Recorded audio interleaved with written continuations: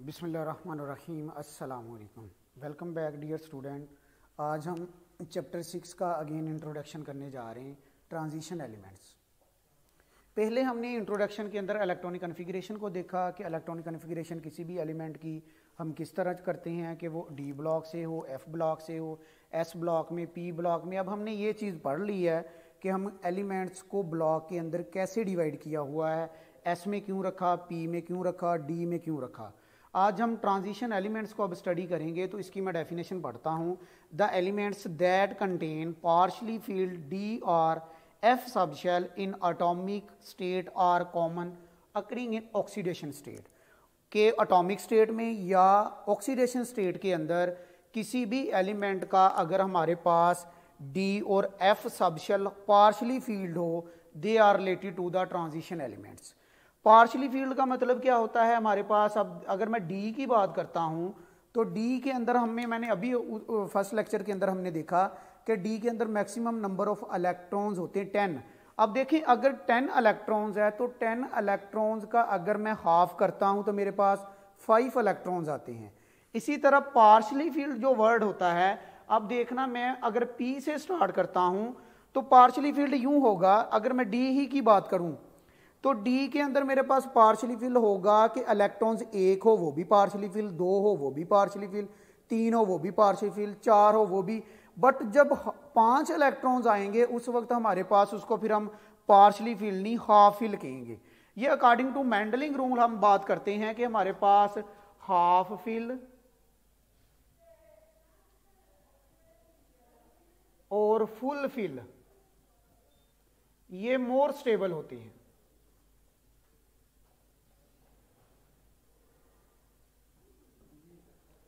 जबकि partially fill जो होता है,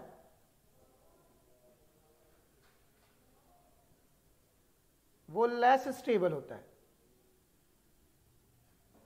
अब डेफिनेशन में हमने इसको कैसे पढ़ा?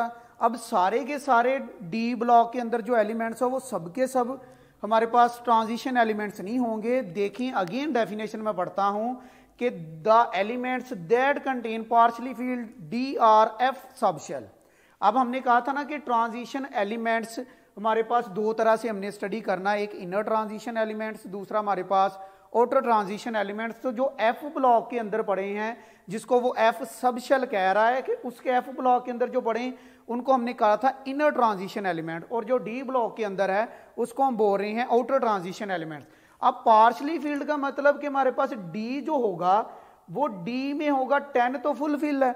अब इसका मतलब पार्शली फिल होगा वन अब हमारे पास वन से लेके नाइन तक उसके अंदर आएँगे फुल फिल नहीं होगा। लेकिन वन से नाइन के अंदर एक केस हाफ़ फिल का भी है, जो मैंने अभी कहा। अब अगर तो डी टेन हुआ डी टेन हुआ तो वो ट्रांजिशन एलिमेंट्स से रिलेट नहीं करेगा, वो वाला एलिमेंट उसको हम ट्रांजिशन एलिमेंट नहीं कहेंगे, लेकिन आप कहेंगे कि हमने इसको फिर रखा क्यों है? They show intermediate properties between S and P block elements फिर हम डी ब्लॉक एलिमेंट्स को इसलिए उसके अंदर रखते हैं क्योंकि उसके वैलेंस वैलेंस शेल जो होता है, उसका इलेक्ट्रॉन जो होता है, वो डी सब शेल के अंदर आता है, उस वजह से हमने रखा, वो हमने इधर पढ़ना है। अब डी का मैंने अभी कहा कि हाफिल पार्शली फ़ील्ड होगा डी वन से नाइन तक। अब अब जैसे मैं पी की बात करता हूँ तो पी के अंदर नंबर ऑफ़ इलेक्ट्रॉन सिक्स होते हैं। तो अगर मैं सिक्स इलेक्ट्रॉन्स को इस तरह लिखता हूँ तो ये मेरे पास फुल फिल है। मैंने कहा एक ऑर्बिटल्स के अंदर मैक्सिमम नंबर ऑफ़ इलेक्ट्रॉन्स होंगे टू अब पी के हमारे पास तीन ऑर्बिटल्स है तो मैंने दो दो इलेक्ट्रॉन्स रखे। इसलिए अब भी मैं इसको अगर पकारूं तो मैं कहूँगा कि ये फुल फिल है, ये ज़्यादा स्टेबल होगा। अगर मैं इसमें से एक इलेक्ट्रॉन कम कर दूँ, एक इलेक्ट्रॉन कम करने से अब ये पार्शली फिल हुआ। अगर एक इलेक्ट्रॉन और कम कर दूँ तो फिर ये पार्शली फिल होगा। अगर मैं एक इलेक्ट्रॉन और कम कर दूँ तो अब इसको मैं हाफ़ फिल कहूँगा। अब जो डी हमारे पास इस क्रोमियम का केस जो हमने पढ़ना और कॉपर का केस पढ़ना, वो इसी से रिलेटेड है कि उनके अंदर हमारे पास डी हाफ़ फिल और फुल फिल होने की वजह से ऐसे एक इलेक्ट्रॉन उसके अंदर आ जाता है। तो आइए देखें जरा कि अब देखें, ये इलेक्ट्रॉनिक कन्फिग्रेशन तो हमने सीख ली। अब देखें डी उस वक्त हमारे पास स्टेबल होगा। मैंने इधर लिखा हाफ़ फिल और फुल फिल स्टेबल होंगे। डी उस वक्त स्टेबल होगा जब इसके और जब इसके सबशेल के अंदर पाँच इलेक्ट्रॉन्स हो या टेन इलेक्ट्रॉन्स हो। और एफ़ उस वक्त स्टेबल होगा हाफ़ में सेवन और फुल में फोर्टीन। तो अब देखें जरा इधर बात करते हैं हम कि टाइप्स अगर हम देखते हैं तो इसको हमने रखा है दो तरह के अंदर, दो टाइप्स के अंदर हमने इसको रखा हुआ है। ट्रांजिशन एलिमेंट्स को जो कि एक नॉन टिपिकल ट्रांजिशन एलिमेंट्स दूसरा हमारे पास टिपिकल ट्रांजिशन एलिमेंट्स जो नॉन टिपिकल ट्रांजिशन एलिमेंट्स होते हैं, ये वो उन एलिमेंट्स को हम नॉन टिपिकल ट्रांजिशन एलिमेंट्स कहते हैं, जो डी ब्लॉक एलिमेंट्स के अंदर तो है, लेकिन ट्रांजिशन एलिमेंट्स की प्रॉपर्टीज़ को मुकम्मल तौर पर ओबे नहीं करते, इसलिए उनको हम कहते हैं नॉन टिपिकल ट्रांजिशन एलिमेंट्स जैसे फॉर एग्जांपल पहले हम इस केस को स्टडी कर लें, फिर इधर आते हैं। अब आप देख रहे होंगे कि इधर मेरे पास थ्री डी वन है four S two again three D two four S two S two है, जबकि डी के अंदर इलेक्ट्रॉन्स इंक्रीज हो रहा है। अब ये मैं इसलिए ये लगा रहा हूँ क्योंकि आर्गोन इन सब के साथ ही लिख रहा है वो। अब इधर मेरे पास number of electrons one two three आप आप कह रहे होंगे कि इधर नंबर ऑफ़ इलेक्ट्रॉन्स आना चाहिए फोर जबकि इधर अगर मैं देखूँ, इधर तो फाइव वही केस है। जब इधर मैं बात करता हूँ तो three D six seven eight अब आप सोच रहे होंगे कि इधर नाइन किधर गया? तो अब देखिए जरा जब मैं क्रोमियम को लिखूँगा इस तरह four S one three D four अब इसकी इलेक्ट्रॉनिक कन्फिग्रेशन ये जो इस फॉर्म में लिखी हुई इसका तरीका ये आ, ये मैंने इधर फार्मूला लिख दिया कि एन रिप्रेजेंट करेगा शेल कौन सा आपके पास? अब मेरे पास इसके चूँकि मैं इसको अब कह रहा हूँ कि ये ग्रुप नंबर ये, ये पीरियड नंबर फोर के अंदर है तो पीरियड नंबर फोर का मतलब कि इसके valence number of shell four होंगी। नंबर ऑफ़ शेल फोर तो एन को जब मैं फोर रखूँगा इधर तो फोर एस आ गया और N minus one three D आ गया। अब जितने इलेक्ट्रॉन्स होंगे वो इसके ऊपर मैं लिख दूँगा। इस तरह इन सबको हम लिख सकते हैं। इसी तरह जब मैं बात करता हूँ कि मेरे पास अगर इसकी जगह पे मैं रख लेता five number of N mean के नंबर ऑफ़ शेल फाइव होते हैं जितना किसी एलिमेंट का पीरियड नंबर होता है कीप इन माइंड उतने ही उसके नंबर ऑफ़ शेल होते हैं। तो इसकी अगर बात करें तो इसके, अगर मैं कहता हूँ कि मैं फाइव शेल वाला ले रहा हूँ तो उसका नंबर ऑफ़ शेल फाइव होगा एन फाइव होगा। एन फाइव का मतलब इधर जब मैं फाइव पुट करूँगा तो मेरे पास डी फोर डी आएगा। अब देखें, मैंने कहा था कि एक इलेक्ट्रॉन इसमें क्यों नहीं? अब अगर मैं इसकी बात करता हूँ ना तो मेरे पास ये होना, आप कह रहे हैं कि होना ये चाहिए।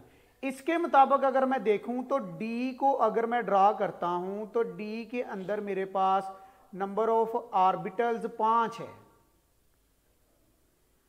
अब पाँच इलेक्ट्रॉन्स को अगर मैं इलेक्ट्रॉन फिल करूँ अकॉर्डिंग टू ऑफ़ प्रिंसिपल जब मैं इलेक्ट्रॉन को फिलिंग करता हूँ तो इलेक्ट्रॉन फिल यूँ होंगे कि एक इलेक्ट्रॉन इसके अंदर एक इसके अंदर, एक इसके अंदर। अब मेरे पास नंबर ऑफ़ इलेक्ट्रॉन चार है तो इधर तक मैंने कर दिया।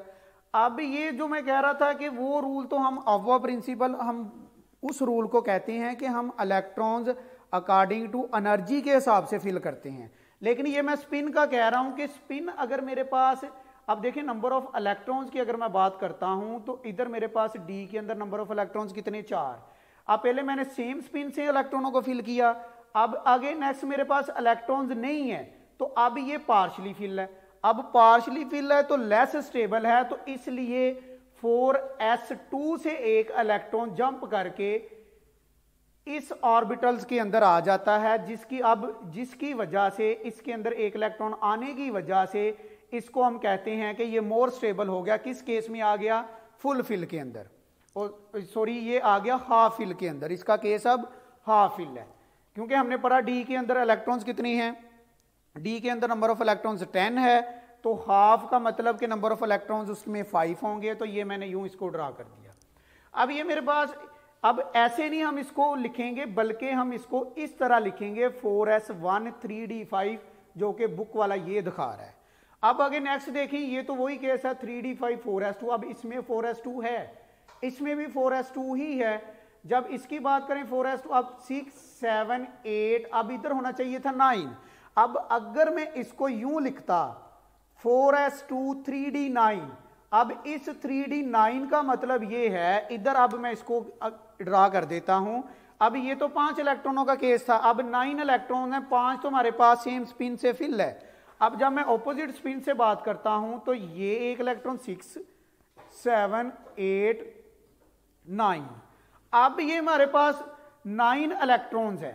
अब नाइन इलेक्ट्रॉन्स का मतलब ये है कि ये हमारे पास पार्शली फिल है। पार्शली फिल है तो मैं अब पार्शली फिल हमारे पास हमने क्या कहा पार्शली फिल क्या होता है? लेस स्टेबल होता है। तो ये क्या करेगा? ये अपना फुल फिल गेन करने के लिए एक इलेक्ट्रॉन इधर से जाएगा फोर एस से। तो जब इलेक्ट्रॉन इसके अंदर गया तो ये मेरे पास four S one three D ten बन गया। अब हमारे पास ये केस क्लियर हो गया कि क्रोमियम को हम इस फॉर्म में लिखते हैं। इसमें इसमें इसलिए नहीं लिखते हैं कि इसके अंदर डी सबशल जो होता है, वो हमारे पास स्टेबल नहीं होता। जबकि अगर इसकी बात करें तो इसके अंदर हम इसको इसलिए नहीं लिखते क्योंकि इसके अंदर भी वो वाला केस है कि पार्शली फिल ही होता। देखें फोर में भी पार्शली फिल है नाइन में भी पार्शली फिल है। तो फिर हम इसको यूँ लिखते हैं। अब जब इसकी हम टाइप्स की बात करते हैं तो टाइप्स हम इसको नॉन टिपिकल ट्रांजिशन एलिमेंट्स और अगेन दूसरा typical transition elements typical transition elements वो एलिमेंट्स होते हैं जो कि डी ब्लॉक के अंदर पड़े बट ट्रांजिशन एलिमेंट्स की प्रॉपर्टीज़ को फुली अबे करते हैं। जबकि नॉन टिपिकल ट्रांजिशन एलिमेंट्स ये जो है नॉन टिपिकल मतलब कि जो मेजर प्रॉपर्टीज़ ट्रांजिशन एलिमेंट्स की अबे नहीं करते इसलिए हम इसको नॉन टिपिकल ट्रांजिशन एलिमेंट कहते हैं। तो इसके अंदर अगर आप देखें डी ट्रांजिशन डी ब्लॉक के अंदर जो हमारे पास, जो कि they show intermediate properties between S and P block elements इस साइड पे एस है, इस साइड पे पी ब्लॉक है सेंटर में इसलिए रखा, क्योंकि ये दोनों के इंटरमीडिएट प्रॉपर्टी शो करता है। अब नॉन टिपिकल हमारे पास टू बी थ्री बी को हम नॉन टिपिकल इसलिए कहते हैं कि अगर आप जिंक देखें जिंक को अगर मैं लिखूं, एक तो ये देखें कि मैंने अभी कहा कि अगर किसी का डी टेन होगा ना तो वो ट्रांजिशन एलिमेंट्स नहीं कहलाएगा। उसको हम बोलेंगे नॉन टिपिकल ट्रांजिशन एलिमेंट्स जिसका डी टेन होगा। हमने पढ़ा डेफिनेशन के अंदर के पार्शली फ़ील्ड होना चाहिए। पार्शली फ़ील्ड वन से नाइन तक होगा। जब उसका डी टेन होगा तो वो फिर हमारे पास नॉन टिपिकल ट्रांजिशन एलिमेंट्स कहलाएगा, जो कि मैंने दो ग्रुप लिखे अब इसकी रीजन सुने। अगर मैं जिंक लिखता हूँ तो जिंक का मेरे पास इलेक्ट्रॉनिक कन्फिग्रेशन ये है। अब जिंक अगर आप एटॉमिक फॉर्म में ले लें या आप ओयोनिक फॉर्म के अंदर इसकी बात करें तो ज़्यादातर अब अगर मैं अटोमिक फॉर्म में देखूँ तो अटोमिक फॉर्म के अंदर भी इसका थ्री डी टेन है। थ्री डी टेन का मतलब कि अब ये ट्रांजिशन एलिमेंट्स को फॉलो नहीं कर रहा उसकी डेफिनेशन को। जब मैं बात करूँ अगेन अब इसकी अयोनिक फॉर्म के अंदर तो अयोनिक फॉर्म के अंदर हमारे पास जेड एन प्लस टू का मतलब कि दो इलेक्ट्रॉन लूज करवा दिया। अब दो इलेक्ट्रॉन एस से निकले तो फिर भी थ्री डी टेन फुल ही है। अब ये ना तो अटोमिक फॉर्म में ट्रांजिशन एलिमेंट्स को अबे कर रहा है, ना ही हमारे पास एयोनिक फॉर्म के अंदर अबे कर रहा है। अब दूसरी बात देखें तो ये ज़्यादातर जेड एन प्लस टू की फॉर्म में एग्जिस्ट करता है। अब अगर मैं स्कैंडियम की बात करता हूँ तो स्कैंडियम के अंदर अगर आप देखें तो हमारे पास three D one four S two बनता है। अब three D one four S two three D one four S two जो है, इसके मुताबिक अगर मैं बात करता हूँ तो स्कैंडियम जो मेरे पास है three D one four S two का मतलब कि थ्री डी वन है पार्शली फिल है। तो ये typical element typical transition elements कहलाएगा। लेकिन अगर मैं इसका एयोनिक फॉर्म देखूँ तो एयोनिक फॉर्म के अंदर इसको S S C plus three scandium S C plus three लिखते हैं। मतलब कि ये तीन इलेक्ट्रॉन लूज करता है। अब इसने एस में से भी दो इलेक्ट्रॉन लूज करवा दिया डी में। अब तो इसका डी है ही नहीं है। तो ये ज़्यादातर पाया जाता है एयोनिक फॉर्म के अंदर, इसलिए हम इसको कहते हैं कि ये नॉन टिपिकल ट्रांजिशन एलिमेंट्स है। क्लियर अब देखें बेटा आगे। अगर बात करते हैं टिपिकल ट्रांजिशन एलिमेंट्स के अंदर, फिर आप बाकी तमाम एलिमेंट्स डी ब्लॉक के अंदर जो पड़े हैं एक्सेप्ट इनके बाकी तमाम के तमाम टिपिकल ट्रांजिशन एलिमेंट्स ही है। अब आप कहेंगे कि अगर आपकी बुक में उसने लिखा भी हुआ है सेकंड पेज के ऊपर के कॉपर सिल्वर गोल्ड की अगर मैं बात करूँ तो कॉपर हमारे पास अगर तो अटोमिक फॉर्म में ले अटोमिक फॉर्म में लूँ तो इसका देखें three D ten four S one बन रहा है, ये। अब इस फॉर्म के अंदर थ्री डी टेन है तो इसको ट्रांजिशन एलिमेंट्स नहीं होना चाहिए। लेकिन ये अटोमिक फॉर्म के अंदर नॉन टिपिकल है बट जब हम कॉपर को देखते हैं तो ये ज़्यादातर एग्जिस्ट करता है सी यू प्लस टू के अंदर एओनिक फॉर्म के अंदर। जैसे आपने सुना होगा C U C L two copper chloride अब ये मैं अगर इसकी बात करता हूँ तो मैं कहता हूँ कि सी यू प्लस टू की फॉर्म में ज़्यादा एग्जिस्ट करता है तो सी यू प्लस टू जब मैं इसका लिखता हूँ तो ये फिर मेरे पास क्या होगा कि एक इलेक्ट्रॉन मेरे पास इधर से निकला एक इलेक्ट्रॉन इधर से निकला तो ये बन गया थ्री डी नाइन अब ये हमारे पास टिपिकल ट्रांजिशन एलिमेंट्स को फॉलो कर रहा है, इसलिए हमने इसको इधर, इस पढ़ रहे हैं कि ये टिपिकल ट्रांजिशन एलिमेंट्स को अबेक करता है। अगर हम इसकी बात करते हैं ए जी प्लस टू की ए जी अब सिल्वर की बात करें सिल्वर के अंदर हमारे पास आता है four D ten five S two. अब इसका जो सिल्वर की अगर आप देखेंगे तो इसके अंदर हमारे पास सिल्वर का पीरियड नंबर फाइव है। तो इसका नंबर ऑफ़ एन फाइव होगा, जो मैं इस फार्मूले में पुट किया तो फोर डी आया। अब इसके मुताबिक मैं जब इसको four D ten five S one लिखता हूँ तो ये सिल्वर हमारे पास अटोमिक फॉर्म के अंदर कम पाया जाता है। ज़्यादातर हमारे हमारे पास पाया जाता है ए जी प्लस टू की फॉर्म में। अब ए जी टू प्लस जब हुआ, एक इलेक्ट्रॉन इधर से निकला, एक इलेक्ट्रॉन इधर से निकला। अब एक इलेक्ट्रॉन इधर से निकलने के बाद जब एक इलेक्ट्रॉन इधर से निकलेगा तो ये बनेगा फोर डी नाइन ये क्या बनेगा फिर? हमारे पास फोर डी नाइन बनेगा।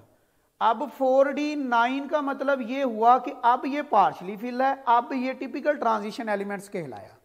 अगर अगर आप इसी तरह बात करते हैं गोल्ड की तो ए यू इसका देखें तो इसका हमारे पास आएगा फाइव डी सिक्स एस अब ये मेरे पास पड़ा हुआ है नंबर ऑफ़ पीरियड सिक्स के अंदर पीरियड नंबर सिक्स में। तो इसका नंबर ऑफ़ पीरियड सिक्स है तो मैंने सिक्स एस और एक कम करके लिखा तो फाइव डी लिख दिया इस फार्मूले के मुताबिक। Five D ten six S one अब इस फॉर्म में अगर देखें तो इसका डी टेन है तो इसको फिर ट्रांजिशन नहीं होना चाहिए, उस डेफिनेशन के मुताबिक। पार्शली फील तो है नहीं है। फिर ये ज़्यादातर ये अटोमिक फॉर्म के अंदर कम पाया जाता है, जबकि ज़्यादातर ये पाया जाता है ए यू प्लस थ्री की फॉर्म में। इसलिए हम फिर इसको फाइव डी टेन लिखते हैं कि एक इलेक्ट्रॉन इसमें से निकला, दो इलेक्ट्रॉन इसमें से निकले, जिसकी वजह से बन गया फाइव डी एट और फाइव डी एट होने की वजह से फिर हम इसको कहते हैं कि ये हमारे पास ट्रांजिशन एलिमेंट्स है। अब हमने क्या पढ़ा? अगेन मैं उसको रिवाइज करता हूँ। हमने ये चीज़ देखी ट्रांजिशन एलिमेंट्स का इंट्रोडक्शन फ़र्स्ट वीडियो के अंदर भी हमने देखा। अब सेकंड फ़र्स्ट वीडियो में बेसिक हमारा जो फोकस था वो इलेक्ट्रॉनिक कॉन्फ़िगरेशन के ऊपर था कि कोई भी एलिमेंट्स हो, उसकी इलेक्ट्रॉनिक कॉन्फ़िगरेशन कैसे निकालते हैं। ये हमारे पास डी ब्लॉक एलिमेंट्स है, ये पी और एस अब मैंने जैसे लिखा कि पी और एस ब्लॉक एलिमेंट्स के बिटवीन एग्जिस्ट करते हैं।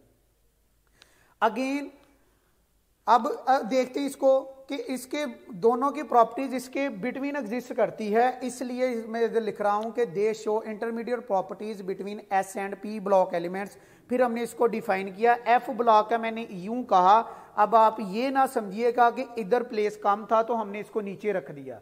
इसका बेटा मतलब ये है कि एफ़ ब्लॉक एलिमेंट्स के अंदर जितने एलिमेंट्स पड़े हैं एफ़ ब्लॉक के अंदर जितने एलिमेंट्स पड़े हैं उनका सब शेल वेल शेल के अंदर जो इलेक्ट्रॉन है, वो एफ़ के अंदर आप पाएँगे। इसलिए हम उसको एफ़ ब्लॉक एलिमेंट्स के अंदर रखते हैं कि डी से निकालती डी से निकाल कर इसमें रखा तो inner transition elements कहलाएँ। The elements that contain partially fill D or F subshell in atomic state या कॉमन अकरिंग ऑक्सीडेशन स्टेट के अंदर हो। वो अटोमिक स्टेट के अंदर भी हो और ऑक्सीडेशन स्टेट के अंदर भी हो। ऑक्सीडेशन स्टेट के अंदर एयोनिक फॉर्म के अंदर हो। तो उसको फिर हम बोल देते हैं कि ये हमारे पास ट्रांजिशन एलिमेंट्स होंगे।